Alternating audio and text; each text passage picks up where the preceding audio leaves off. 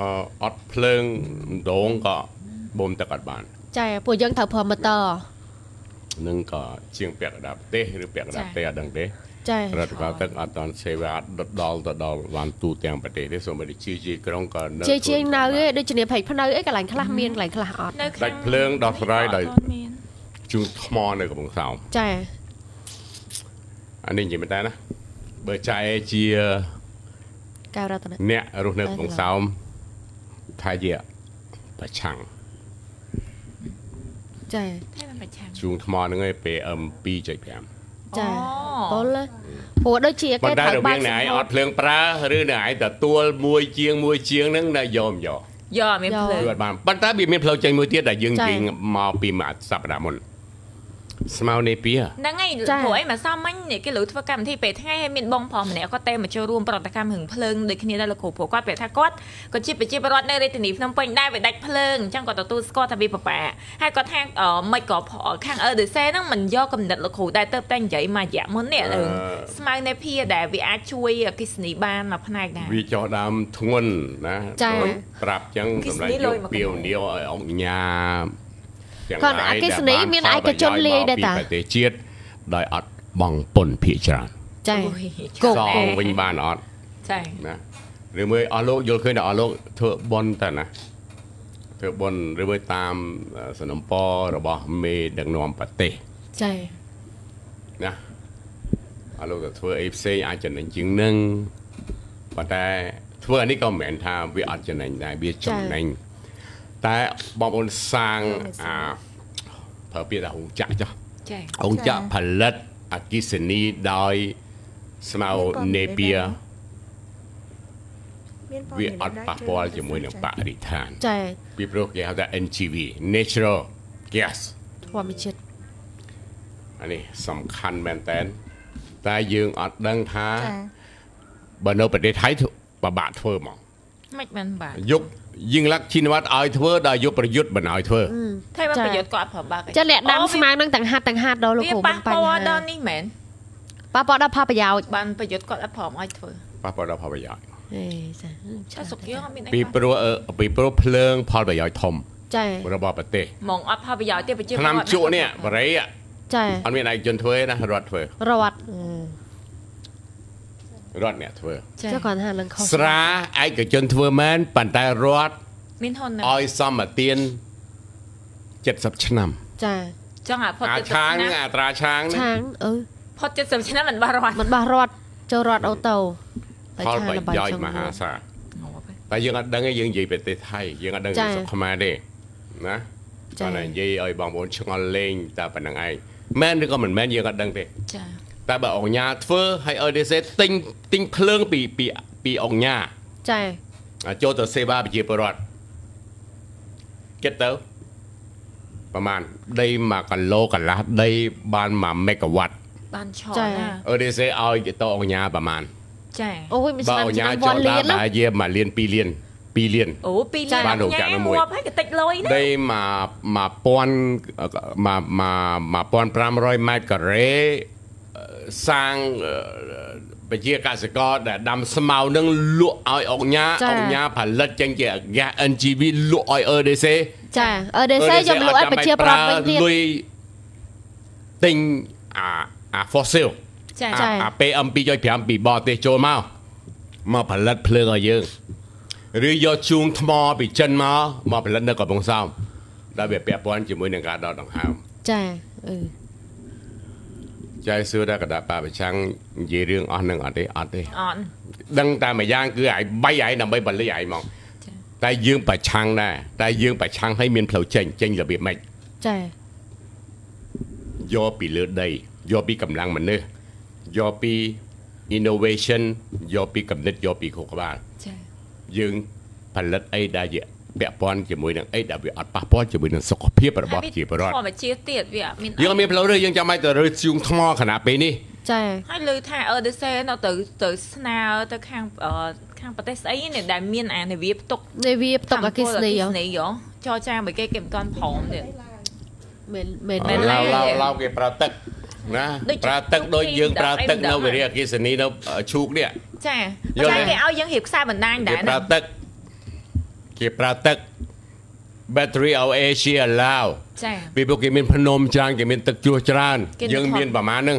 ហើយដល់ដល់ភ្លៀងវាអត់ធ្លាក់មកងាប់រែងបើយើងពឹងឡាវក៏ដូចតែគ្នាហ្នឹងកាលណាអស់ទឹករីងទឹកក៏វាមានបញ្ហាដូចគ្នាចាប៉ុន្តែបើប្រជាពលរដ្ឋសាងធនីគារទឹកផ្ទុកទឹកនៅក្នុងដីរបស់យើងពេលភ្លៀងធ្លាក់មកនឹងជីកអណ្ដៅហើយដាក់អីដាក់កង់ឡានដែរដែលប្រាប់ដាក់ឲ្យវាដកដង្ហើមយើងចូលវាធ្លាក់ចូលមកវាបឺតចូលក្នុងដីរបស់យើងវាអត់ហូរចូលសមុទ្រអត់ហូរទៅទន្លេ ហើយដល់ពេលរដូវប្រាំងមកយើងទឹកមាននឹងទឹកវាចេញតាមដងមកដាំស្មៅនេពីចា៎ឲ្យគោស៊ីឲ្យផលិតចំណីត្រីផលិតចំណីមាន់ផលិតចំណីជ្រូកផលិតចំណីគោ ហើយនឹងយកមកធ្វើជា NGV ដើម្បីផលិត EDC ដោយអត់ប៉ះពាល់ដល់សុខភាពទាំងអស់គឺស្មៅនេពីចានិយាយទៅបានទាំងធម្មជាតិបានទាំងអគ្គិទាំងសនីអស់ប្រើនិយាយទៅបាបាននទាំងអស់មកចាប់ហ្មងបើប្រើស្មៅនៃពីរក្នុងគណៈពេលដែលរាជរដ្ឋាភិបាលគណៈបកប្រជាជនកំពុងតែកង្វល់កំពុងតែខ្វល់អំពីអាជីវៈបាក់មែនតើការរស់នៅរបស់ប្រជាពលរដ្ឋខ្មែរយើងគ្រប់ជំហានគ្រប់វិនាទីគ្រប់ការដកដង្ហើមចេញចូលចា សូមឲ្យអស់លោកយករឿងស្មៅនេពីទៅពិចារណាផងមែនលោកតើអង្គញាទាំងឡាយយកស្មៅនេពីទៅពិចារណាផងជាពិសេសអ្នកដែលឃើញក្នុង page ឲ្យមាន like ច្រើនខ្លាំងគឺដួងឆាយចាណាដួងឆាយពួកឯងគាត់ដូចធ្វើអានឹងមួយជាគំរូបានអត់ចាពួកគាត់ក៏លុយច្រើនដែរណាប្រើប្រមាណគ្រួសារដើម្បីដាំស្មៅនេពីសូមជម្រាបថាដាំស្មៅនេពីចំណេញជាងធ្វើស្រូវ ចាកាលណាយើងប្រមូលប្រជាពលរដ្ឋមកដាំស្មៅនេពីស្រូវវាបានតិចកុំពឹងកុំសង្ឃឹមថាស្រូវវាលក់ទៅបរទេសវាចំណេញបងប្អូនអត់ឈ្នះយួនហើយនឹងសៀមបានទេអូឥឡូវវៀតណាមគេពងអត់មានឈ្នះគេបានទេចាថាកសកម្មគេសាដូច្ហានេះវណាយើងគួរតែប្រើស្មៅនេពីនឹងទៅក្នុងដី1ហិកតាមួយឆ្នាំសល់លុយ10000ដុល្លារចាតែតិចអីមួយឆ្នាំ10000ដុល្លារកសករខ្លះគាត់ base អាហ្នឹងមហា on ផងណា base on អាស្រ័យទៅលើអាស្រ័យទៅលើចា៎អាស្រ័យទៅលើប្រទេសថៃដែលចៃសិក្សាមកចាគឺដី1ហិកតាធ្វើចំណេញបាន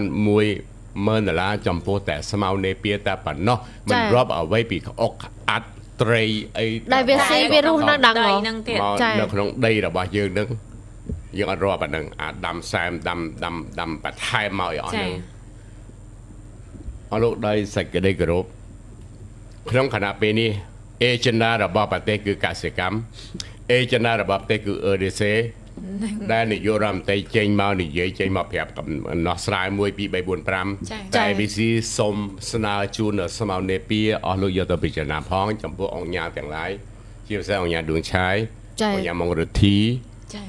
អឺគាត់អង្គញាសំខាន់លីយ៉ុងផាត់កសិកម្មមិនអូមិនរបុលគាត់ទេព្រោះគាត់ធ្វើអីដែលវាវាធំខ្លាំងនៅស្រុកខ្មែរយើងណា ពេលណាទៅវាមានឈ្នះឈ្នះឈ្នះនៅដីរបស់គាត់ជប់ព្រះហោផ្លូវផ្លូវថ្នល់របស់លីយ៉ុងផាត់ហ្នឹងខ្លាចទៅជាផ្លូវផ្លូវថ្នល់ជាមួយគេអឺ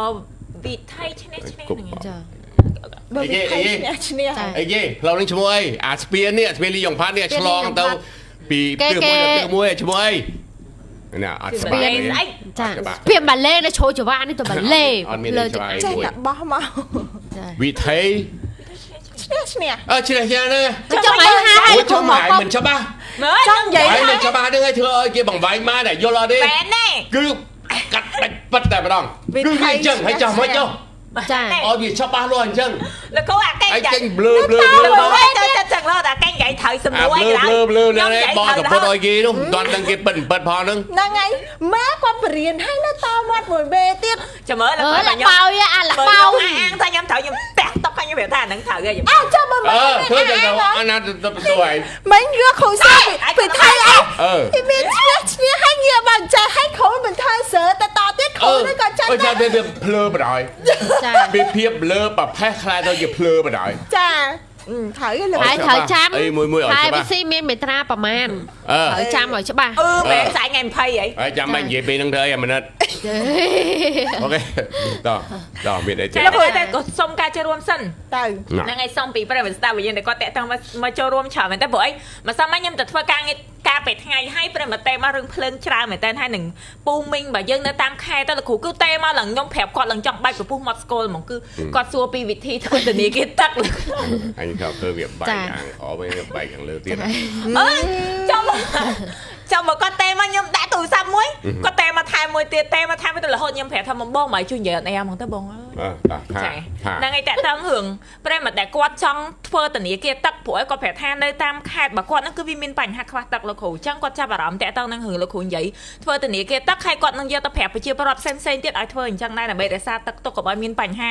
ខ្វះទឹកនៅក្នុងភូមិឃុំរបស់គាត់អញ្ចឹងណាចាអញ្ចឹងសម្រាប់លោកពូអ្នកមីងដែលគាត់ចង់ធ្វើធនាគារទឹកគឺវិធីទី1គឺយើងចាំប្រាប់វគ្គក្រោយឥឡូវសម្រាប់អីអឺអញ្ចឹងយើងចង់ឲ្យបន្ថែមបន្តិចចាចា ក៏បានធ្វើពិសោធន៍ខ្លួនឯងមកតាក់តងអាគី03អាគី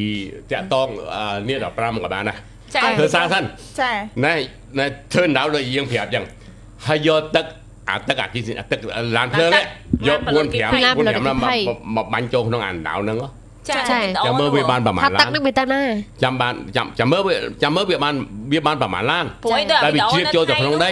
ចាក់ចូលឡើងមកកណោចាប៉ុន្តែពិសោធន៍មិនពិសោធន៍មិនទាន់បានត្រង់ថាហួយពេលដែលរាំងតើទឹកវាដុបបៀមក្នុងនៃនឹងអត់ទេចាពេលពិសោធន៍អរាំត់ងបានឆៅណាតតឆៅបានមានទឹកបៀមបើថានៅរាក់រាក់គឺអត់ទេវាស្រួលហើយហើយការធ្វើហ្នឹងគឺត្រូវរកដីដែលវាទាបបំផុតតែយើងដឹងទេថាដីនៅបរិវេណកន្លែងយើងហ្នឹងកន្លែងណាដែលទាបបំផុតបើយើងធ្វើនៅដីខ្ពស់ក៏ពិត្រឹមបាកត្រូវទៀតប៉ុន្តែយើងអានឹងវិធីតែយើងចង់និយាយថាពិសោធន៍សិនហើយចាំធ្វើចាសាក់មើលសិណានយកយកឡានទឹក2 3មកហើយមកធ្វើអញ្ចឹងទៅហើយ ដាក់ទឹកហើយចូលបាញ់ទៅទឹកក្នុងចូលទៅដៅចាំមើលវាស្រូបតាមអត់មើលវាអាដីជុំវិញ1គីឡូម៉ែត្រនោះវាស្រូបទៅអត់ចាដល់វាស្រូបទៅហើយចាំរដូវប្រាំងចាំមើលជីកដងទៅតាម2ម៉ែត្រចេញបាត់ហើយទឹកចាសួរសួរនឹងគឺទុកទឹកក្នុងដីរបស់យើងបើមិនអញ្ចឹងទេវាហូរចូលក្នុងទន្លេវាវាវាវាលិចភ្នំពេញ